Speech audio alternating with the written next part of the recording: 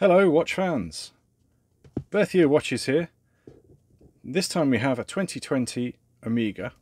We have the warranty card, the pictograms, we have the outer white box, the spare link, the hang tag, the Omega Olympic Collection, Timeless Collection booklet, the outer white box, the instruction book and the watch. Just in case none of you know, you lift up your box, you've got a little cloth to put your watch on of a night and a cleaning cloth inside there too but let's show you the actual watch. So this is the official timekeeper watch for the Olympics. Omega sponsor the Olympics and have been the official timekeeper more than almost any well more than anybody else.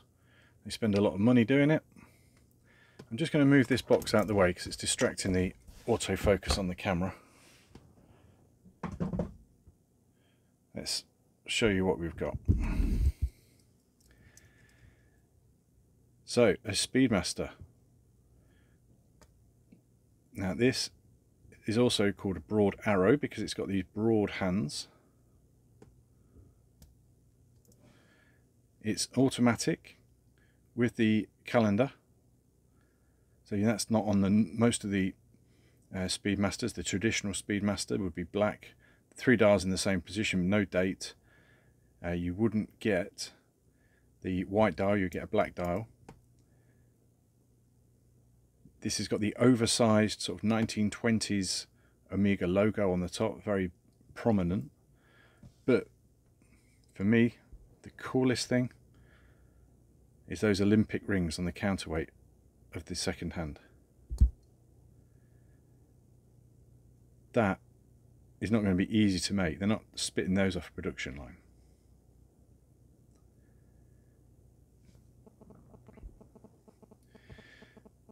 So you've got this almost historic looking watch with the Arabic numerals, but with thoroughly modern technology throughout.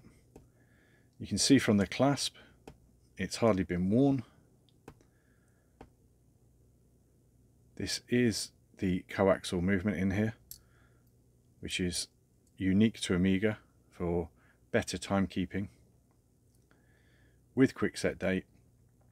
So if you want a Speedmaster that doesn't look like everyone else's Speedmaster, if you want a watch ready for the Olympic Games, if you want something that's just as cool as, or maybe you're an Olympian and you want to be reminded of it, you don't want the tattoo that everyone else has. You want the watch. Then here it is. These are in very limited numbers. You don't find many of them.